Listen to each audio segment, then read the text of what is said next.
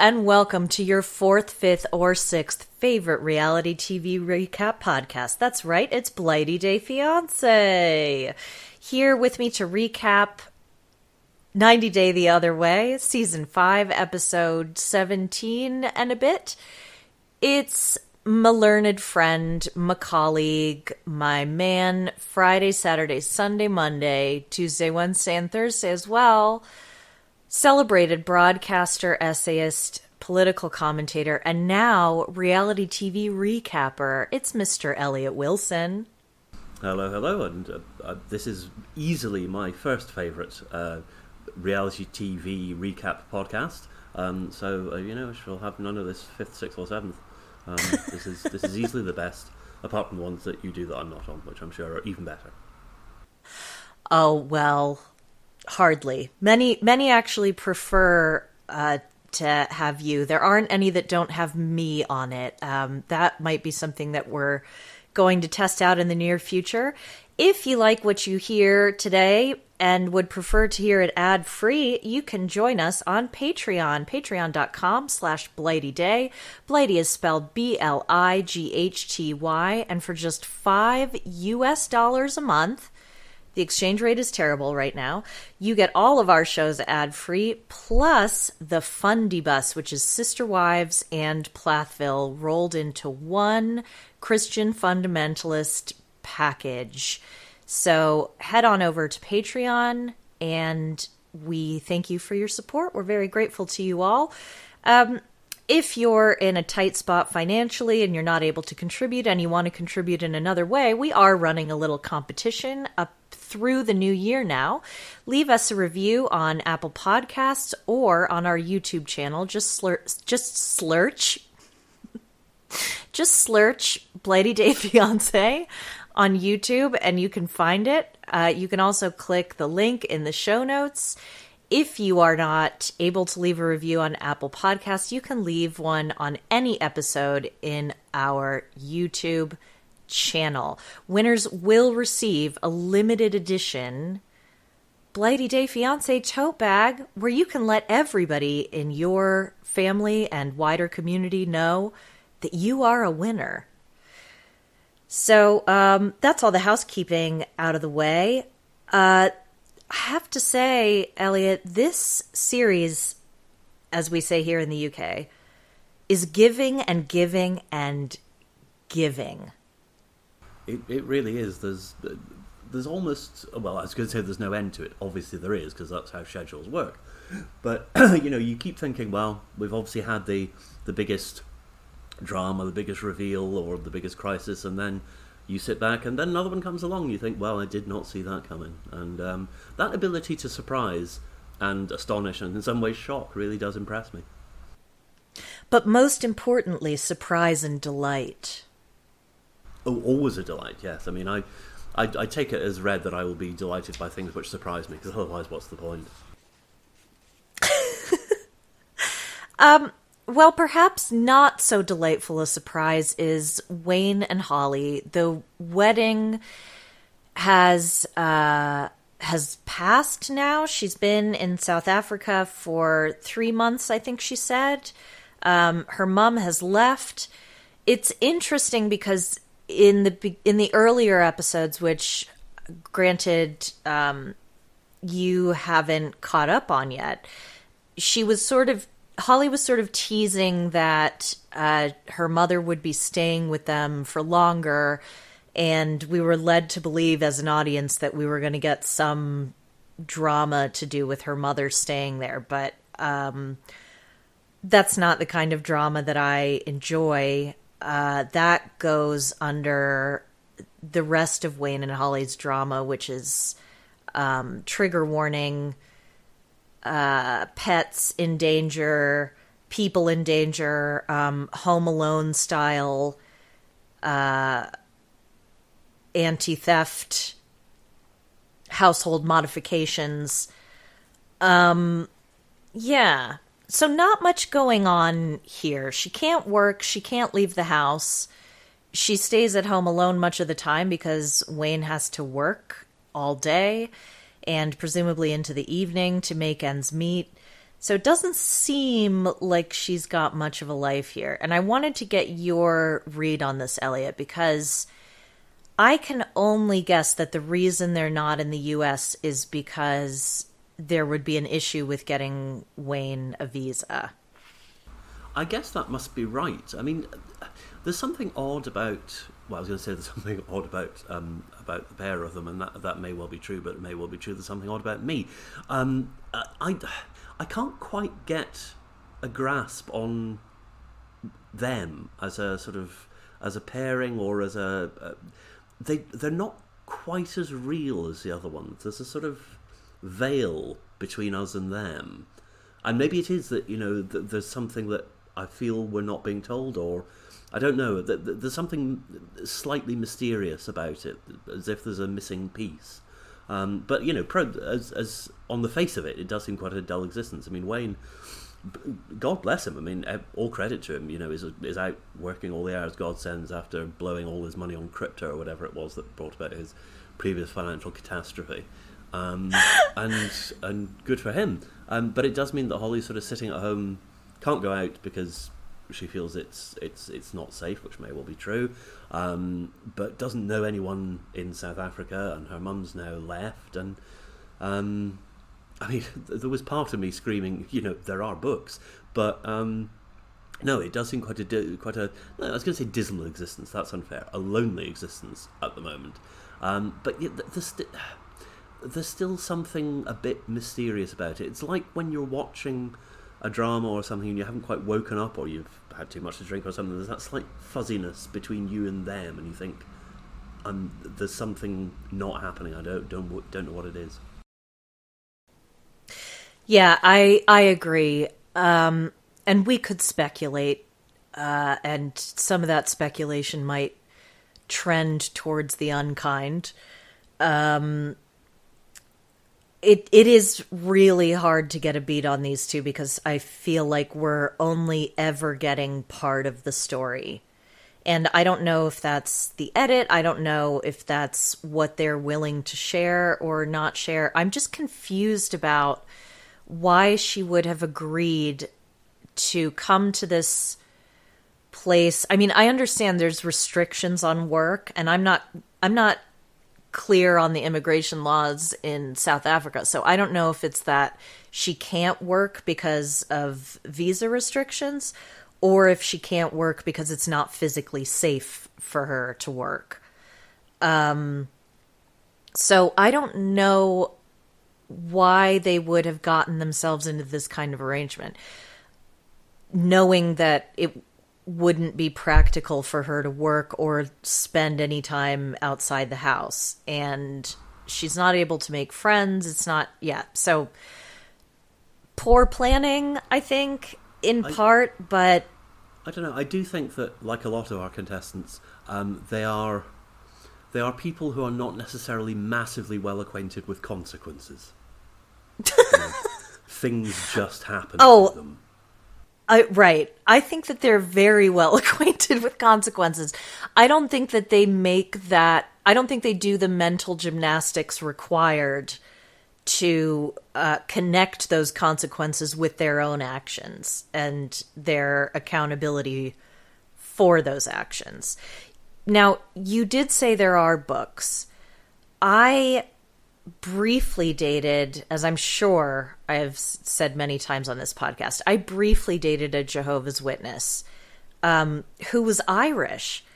I didn't know that there was a big JW population in Ireland, but apparently there there are uh, a, a, fair number of Jehovah's Witnesses. Go figure. I don't know.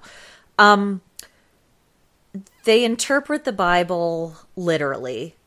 Uh, they do have pretty strict rules as far as I understand anecdotally from my own experience about the media that they can take in. Um, Holly's mom, I think, was reading a book that was sort of a Christian themed romance, but I don't know.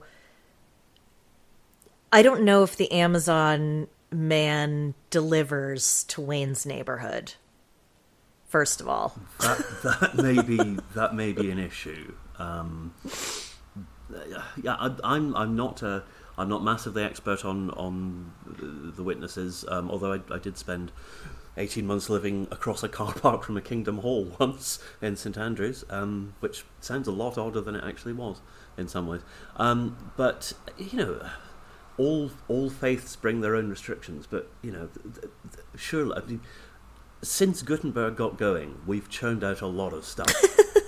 uh, we really have, and you see that every time you go into a bookshop here. You think um, extraordinary. I mean, you know, my friend Mark, who is a, a writer and, and, screenwriter, says that you know, if if it was all about the quality of writing, then nothing bad would ever be printed, and we know that's not true.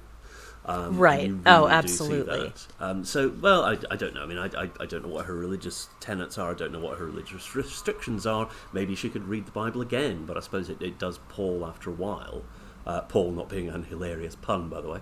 Um, but I don't know fundamentally, I suppose there are people who are happy with a degree of interiority, and there are people who aren't, and she clearly is, is not one who is, and that's not a criticism, it's just an observation. A more profound observation, though, and, and this is, I think, this goes to the heart of the relationship, and I hadn't really twigged this until I was watching it, is my God, that man's head is a weird shape. It is a very odd it's, shape. It's like a, a sort of anvil or something um, as delivered by the Acme company to Wile E. Coyote. I mean, it's, it's very, very odd. It sort of builds towards a, a chin, but odd angles. And my, I, all I can say is, Holly, if, if I woke up in the middle of the night, turned around and saw that, I'd be initially alarmed and then reminded of, of what I'd done. It is a it is a weird and I know that this is an insanely esoteric reference, um, that might also get me in trouble. But it's sort of like Chester Cheetah, or you know, like the the cartoon cheetah from the Cheetos from, from the Cheetos universe. It's like Chester Cheetah. I I have a vague memory of there being an ad campaign where Chester Cheetah was in like an Egyptian hieroglyph and so he had kind of like the King Tut beard. Um, yes, I'm aware he probably didn't have a beard.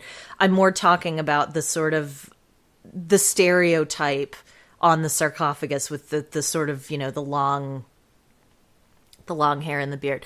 Um, Egyptology baes or listeners, let me know if if you know what I'm talking about.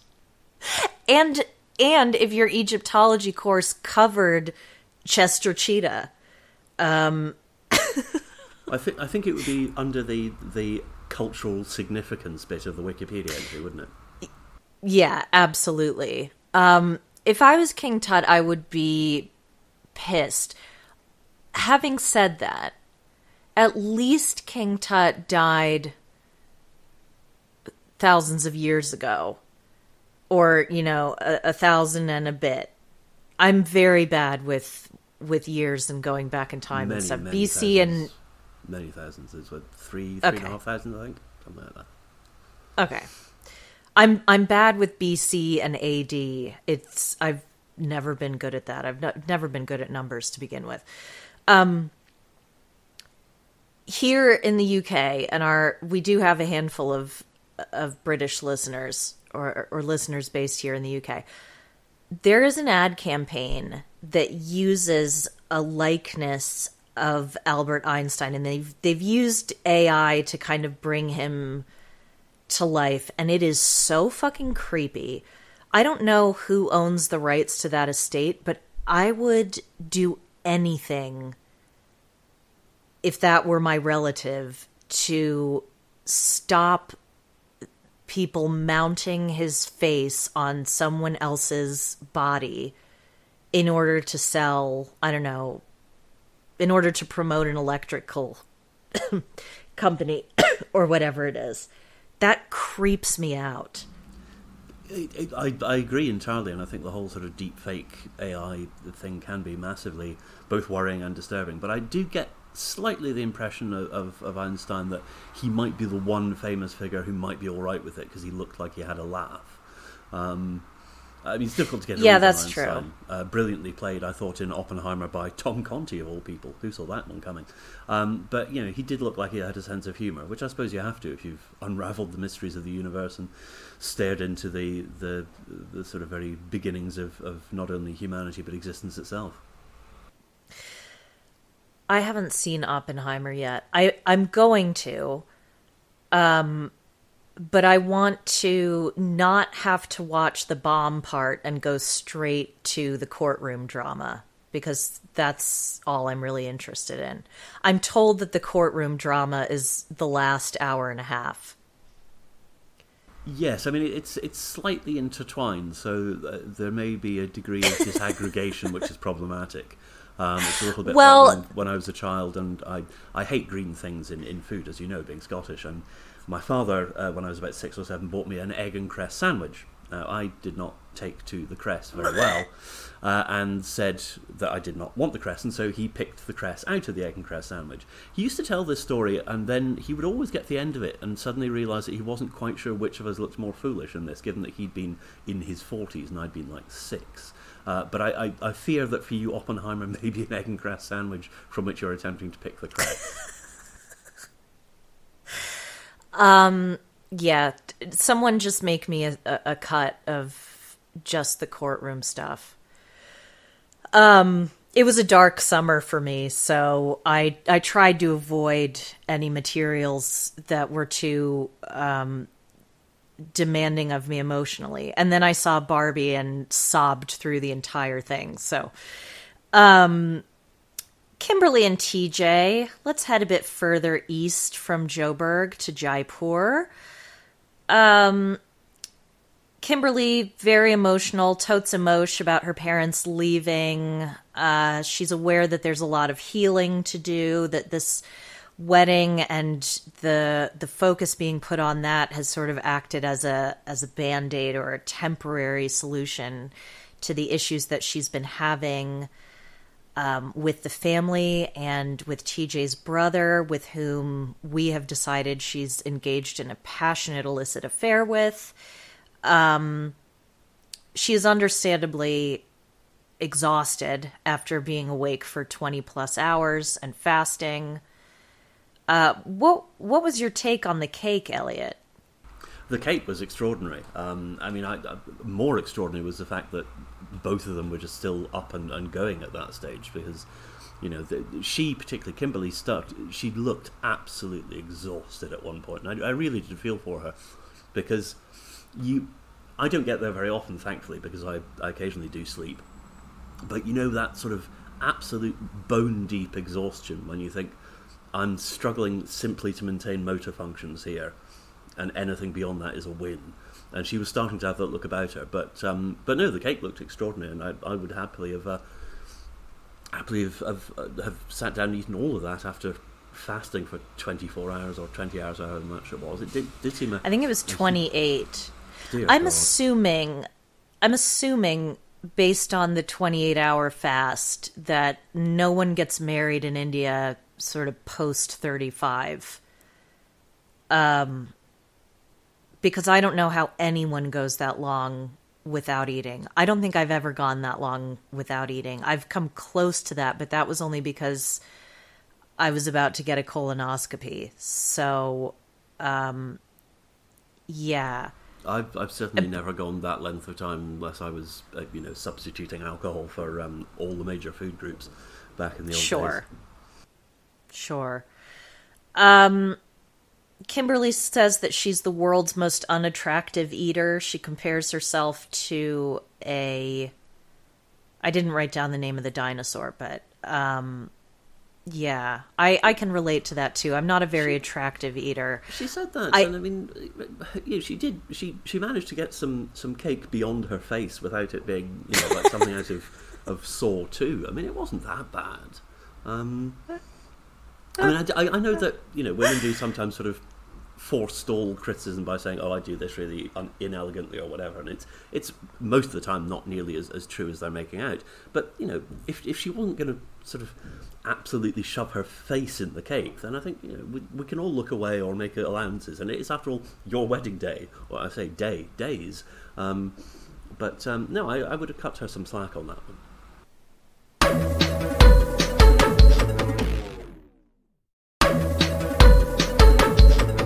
I couldn't help but call to mind in this moment a cake that was made for you um, in your image. Oh yes, yes.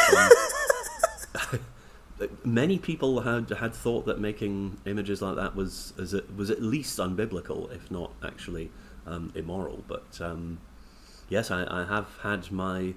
I was going to say I've had, I have had my face adorning a cake. I'm not sure adorning is, is quite the right. I have had presented to me a cake with a simulacrum of my face upon it. That is true. Um, we might have to post a picture of it in in the Facebook group or maybe in the Patreon only group because uh, because of the nature of um, various for various reasons. Okay, but I should say this is no way sexually explicit. Let me make that very no, no, no, no, no. But also, it looks nothing like you. That that may also be true, but um, uh, and also those two things are not connected. Simply being not sexually explicit does not mean it doesn't look like me. But um, no, it, it, it's not not safe for work in that sense. But uh, No, no, it- there are sensitivities. It wasn't. It wasn't a brilliant likeness, and it also looked exactly like a subsequent cake, which was supposed to be Robert Burns. he and I are um, often confused, actually. Okay. Um right, so they get back. I was afraid that car was going to crash because that Uber driver was barely awake. He was nodding off on that road. I know they have I know Kimberly uh in a previous episode um hit a rickshaw and wasn't very bothered by it. Um so I guess they maybe they maybe everyone shares a very casual attitude toward um, I, possibly striking I pedestrians think there. that may be true. I think there is a, a sort of Anglo-Saxon relative anxiety about driving, and I mean, I, I certainly observe that just driving in continental Europe, where people are, you know, uh, you have a, a brake or a horn. You don't use both because why would you? Right. Um, Yeah. But I think also uh, just being relaxed about driving doesn't mean you're not going to have accidents or that people will get hurt. Um, it just means that you, you reduce anxiety beforehand.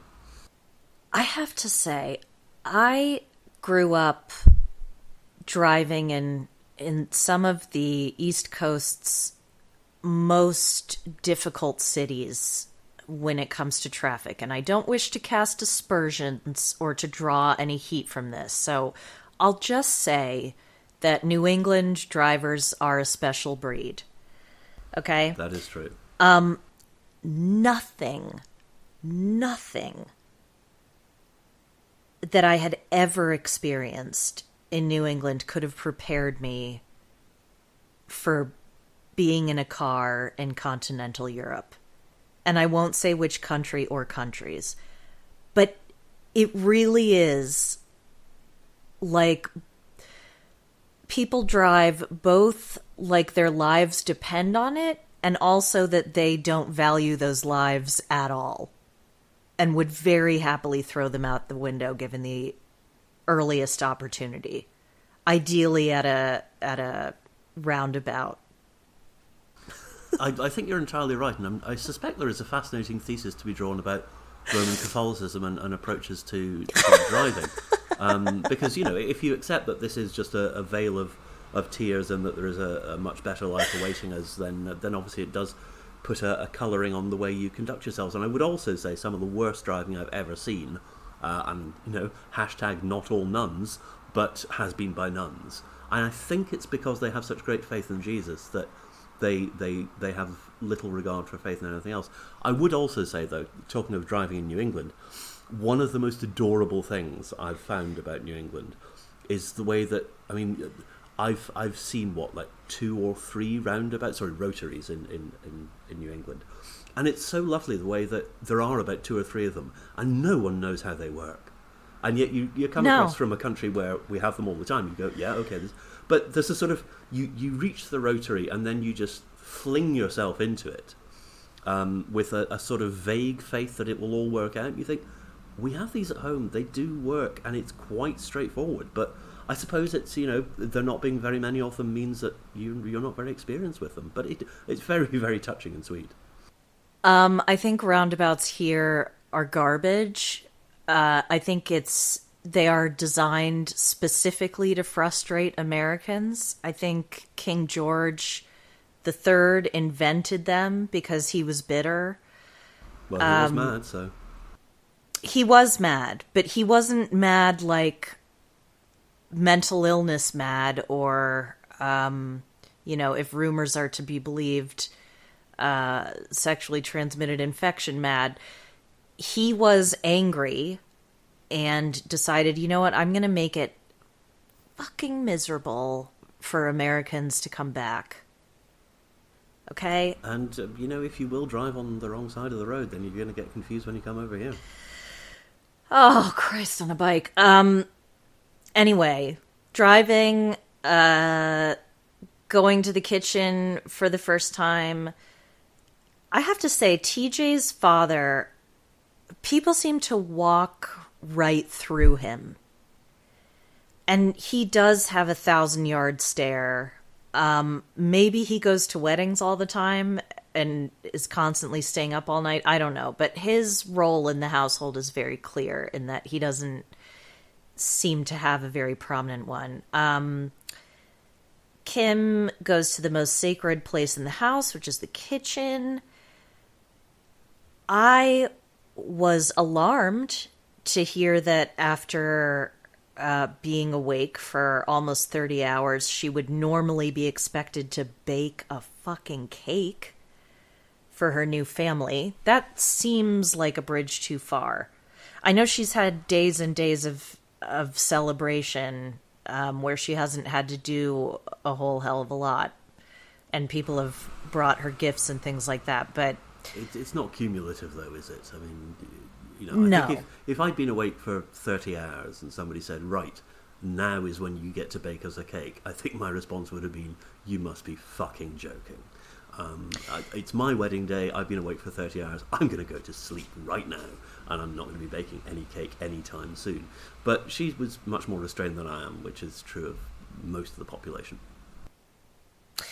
You know, considering who is currently hosting Great British Bake Off, or as it's known in America, the Great British Baking Show, um, I'm surprised they didn't have, uh, they haven't had an, a stay up all night and bake a cake or stay up for 28 hours straight. Um, I won't be making any further comment on that. I find the show almost unbearable. Well, you just made an enemy out of a large part of our audience because I dare say, I look, I really liked it in the beginning, but I am I'm Mel and Sue or no one. Okay, I agree with uh, that entirely. I ride I for Mel and Sue, and uh, I accept no substitute hosts. Um, Right. So Kim's ultimate goal is to give living here a fair shot because she feels like they all need a new beginning. Um based on her previous behavior, I'll be interested to see how that goes.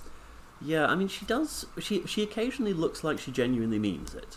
Uh, which is, you know, a, a lot of the battle. Um, I, I, do worry slightly about people who keep saying that you know they need a fresh start. You think, who have you killed? Um, yeah, you know, right. Kind of refugee from justice. Um, what I also haven't really thought about, because I suspect they haven't, and certainly haven't had a conversation about it, is if she decides that living in India is is not something she can contemplate. What's the significance of that for her and and TJ. I mean, is this? Uh, of course, it's not something I've talked about because he admitted that he hadn't actually talked about anything about no, the life no. that would be expected of her because nope. he didn't want to have an argument. You think no, no, nobody likes arguments. I don't like arguments, but there are times when you have to take the lesser argument on the chin to avoid the massive shitstorm coming directly towards you. Yeah, again, very casual attitude towards um, consequences for actions. I mean, why? Some serious procrastinators here. Um, let's head over to DR for Daniele and Yohan. So, Yohan has, since we last saw them, got a job. He is a debt collector. Uh, Daniele has noticed some suspicious activity on her bank account and uh, basically has caught uh, Yohan in a lie.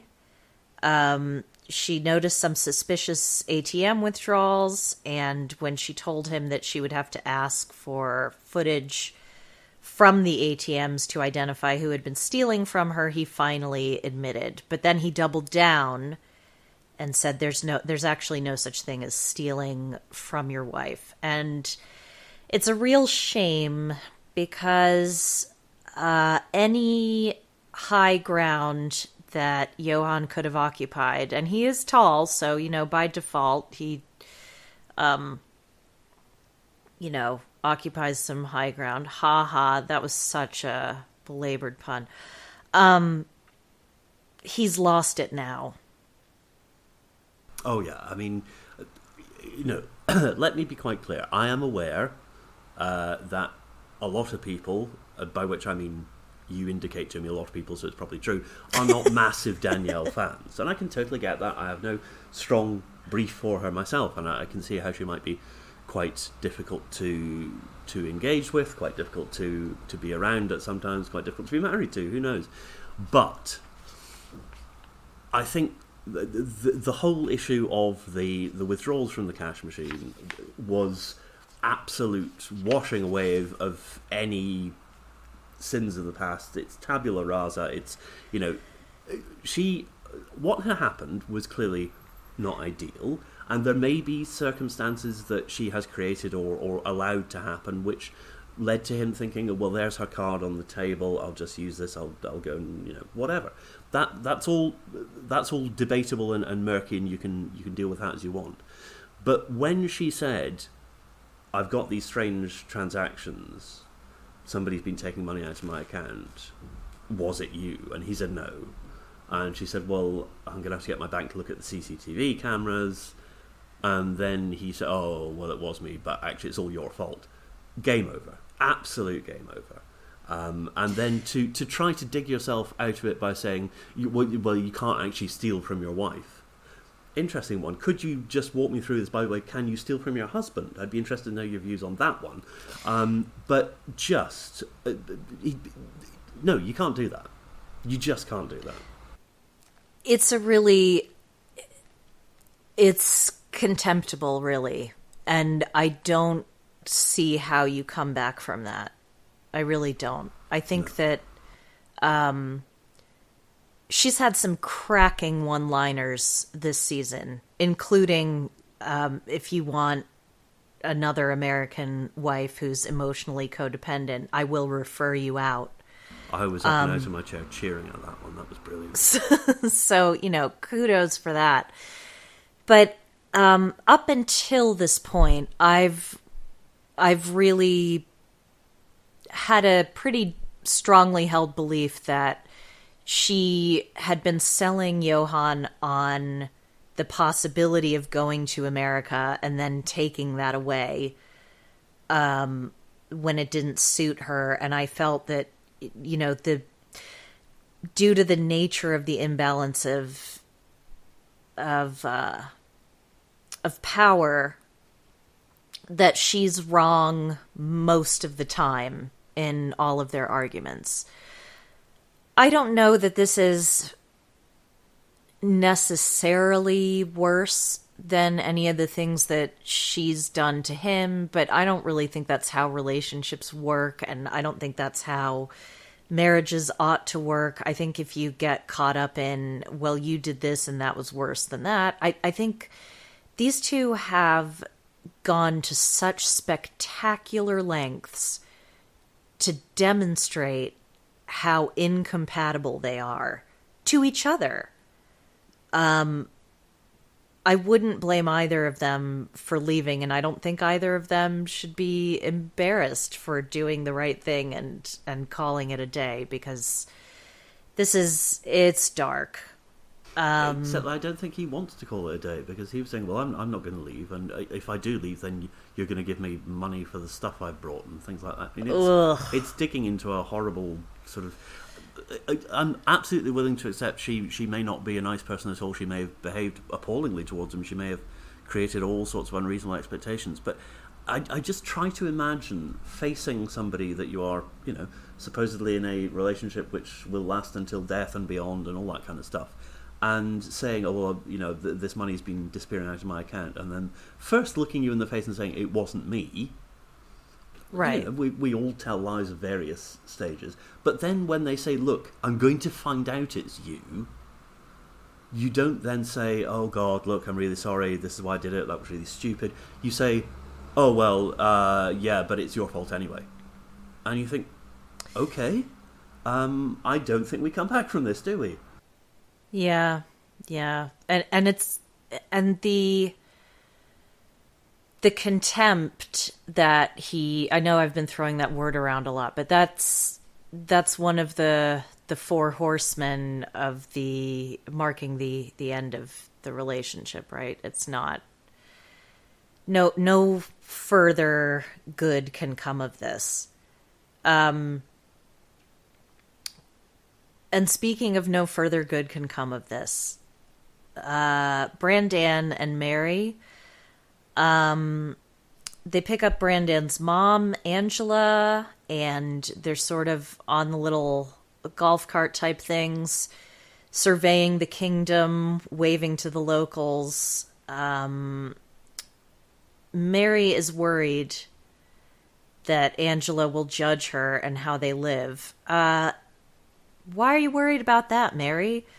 Um, I mean, Angela's brought out classics like "It's better than what I expected." It's not a shack. Yeah, that that was that was some impressive work, sort of surveying uh, the the relative lack of prosperity that she finds, and saying, "Wow, this is a shithole." Oh, but you don't live in the most shithole part of it. Um, you know, you've actually got like walls and stuff. Was in a, a in a nicer world, you could see where she might be coming from. I'm not sure she was, but even so, it, it's it's kind of inadequate digging yourself out of a hole that you've created.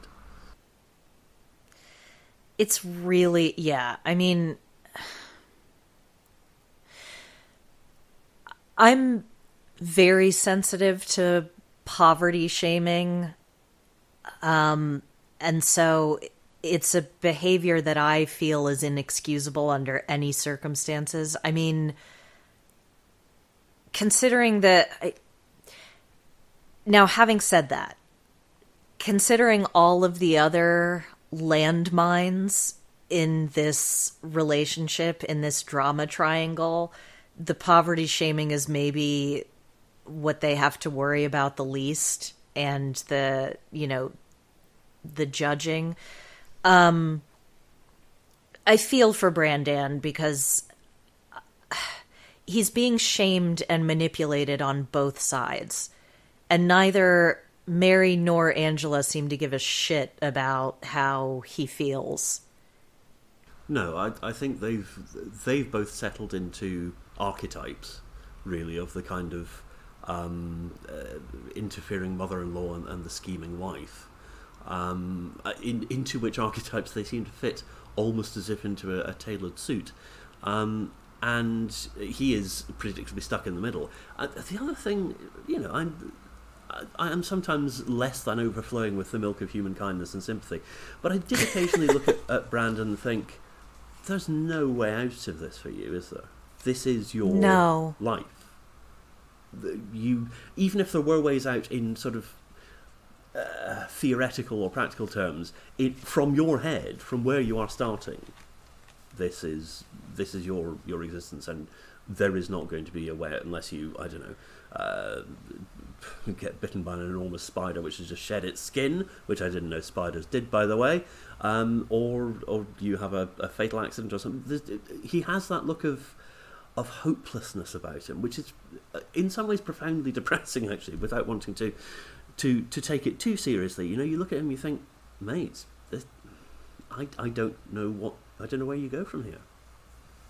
No, it's it's horrible and the worst thing about this story is that it's impossible to make fun of because there's it's so bleak and so sad. I mean, I am not in any way shape or form a fan of either of these two really. Um some listeners have said to me that they find Brandan to be quite a sympathetic character. I don't see that. I don't think that that a relationship like the one that he has with Mary happens on its own because of one person.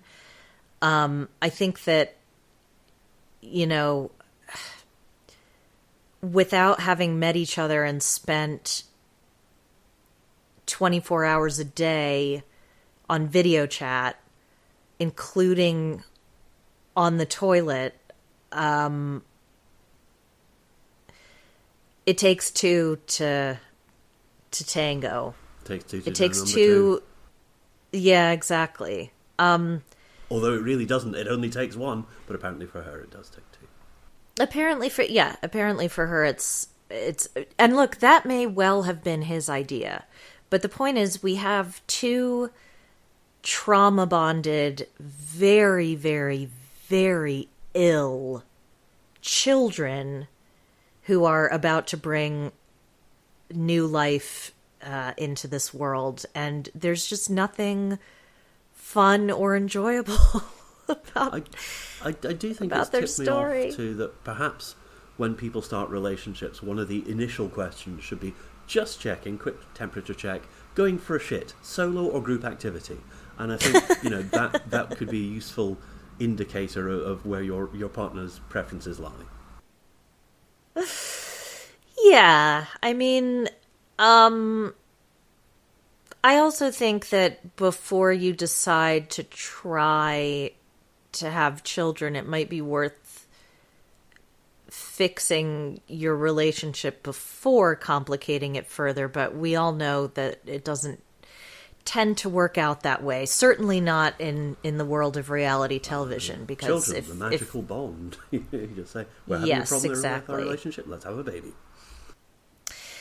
Um, now we come to we've I've saved the best for last. We come to the comic relief that never lets us down. Um, we see a clip of Shekinah and Shariah talking, and Shariah basically says, Look, if I had seen any indication of love and respect coming from him to you, it might have changed my mind, but I didn't, so it hasn't. and I agree with her completely. There's just, but I I feel that way. It it's really hard for me to buy that there's anything between them beyond the most superficial, and I'm not even buying the superficial part. Uh, it, it's mostly the way that they talk about sex and i might be you know i'm taking a stab in the dark here. I'm not saying that a man who can't dance is a man who is not a good lover all right?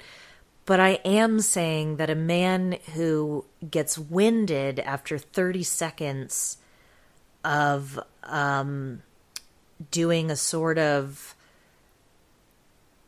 you know early to mid 2000s Carmen Electra strip aerobics adaptation on his uh, fiance and gets winded from you know what what doesn't look to be that strenuous is not somebody who's in a position to be counting orgasms.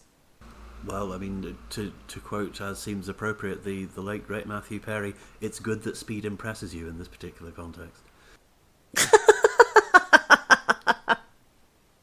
no, I mean, there's something there's something deeply, deeply either odd or dysfunctional about about Shekinah and, and Sarper, isn't there? Um, and I mean, there, there, there are a number of possible explanations. The sort of sophisticated but cynical explanation, which looking at the two of them is probably not the correct one, is that they're just manipulating this whole thing as a, a, a sort of personal promotional platform and that they have a, a sort of uh, skillfully woven behind the scenes agenda. I look at those two and I don't see behind the scenes agenda screaming out from uh, what little light flickers behind, particularly Sarper's eyes. No, no, and I I can't really help it, but I I I do think that there are some hidden depths to Shekinah. I think she's playing a role, albeit very poorly. Um I do think she wants to be on TV. I think they both do. I think that, you know, the but I also think that neither of them are good enough actors to be pulling off anything particularly like this isn't this isn't some deep you know exercise sophisticated exercise here. This is they're basically like a, a, an update of Boris and Natasha from Rocky and Bullwinkle. You know like that's about the level that we're on.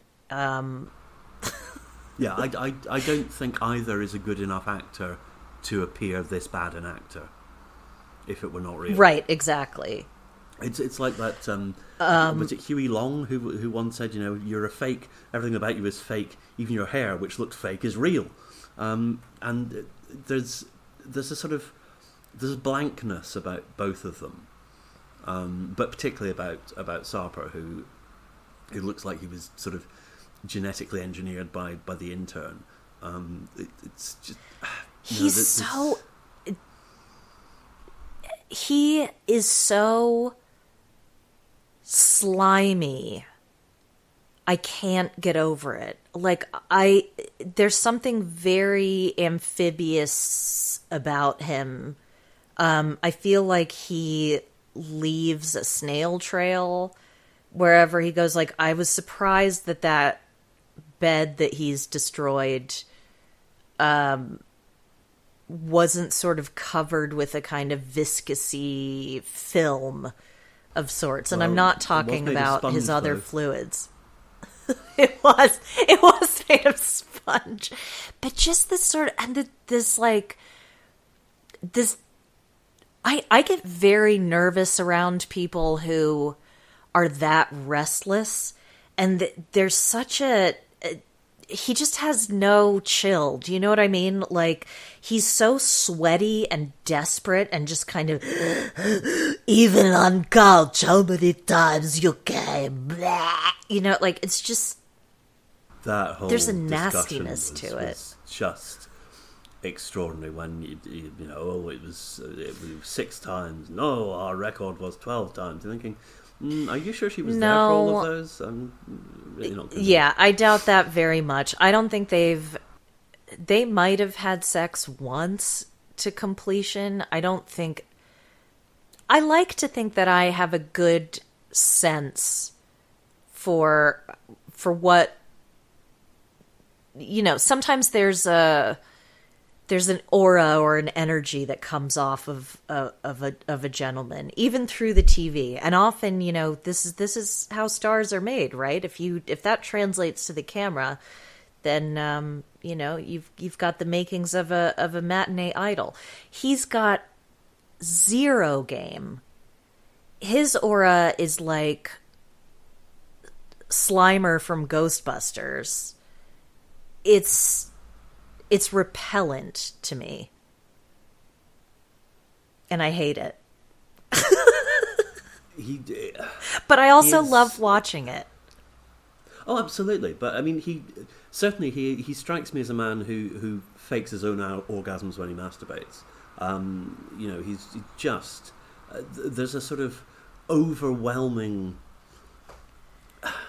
it's it's not quite sort of self-obsession because obsession would uh, imply a degree of, of higher cognitive function which i'm not sure sarper is really on the same page as. But the there's, I mean, that conversation about how much they enjoyed having sex and when they'd had sex and all, they were sitting on this bed and they're probably going to have sex on the bed and all that kind of thing.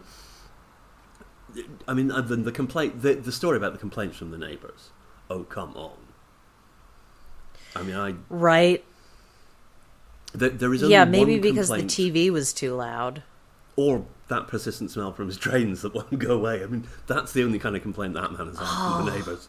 Um, no, Oh, for sure. I mean, if God help you if you've ever used a Starbucks bathroom that's near a gym, because you know what protein the the foulness of a protein dump that a a, a feckless man has dropped in a public restroom. Um, and on that beautiful sense memory. Uh, we are going to leave it there.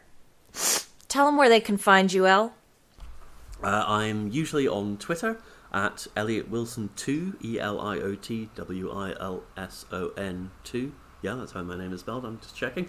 Um, so yes, have a look over there, or um, uh, you know, I'm, I'm, I've I've occasionally uh, retweeted uh, podcasts, uh, editions of this podcast that I've I've appeared on. But yes, Twitter is the main place, and uh, um, I'm always happy to to engage in, in banter of a light-hearted or serious nature as the conversation requires. And we are now able to, I think I've mentioned this before. If I haven't, please forgive me. Um, but Eliot and I are going to be covering Ryan Murphy's Feud, The Swans, which doesn't yet have a premiere date that I'm aware of, but it's going to be early 2024.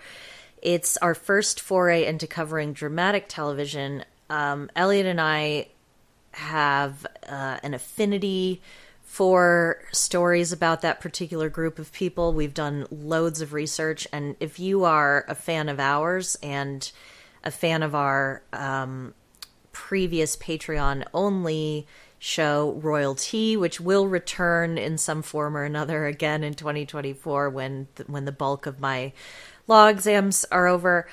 Um, you are going to love this. We've done loads of of prep work for it, and we are super excited to either revel in how masterful the performances and storytelling are, or uh, pick it apart mercilessly until nothing but spiny little fish bones remain. Um, so, from everyone here at Blighty Day Fiance, it's Michelle and Elle signing off. We will see you soon.